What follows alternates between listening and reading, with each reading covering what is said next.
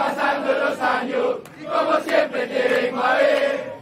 Chicago es un sentimiento, nunca nadie lo va a entender. Vamos, mata, vamos.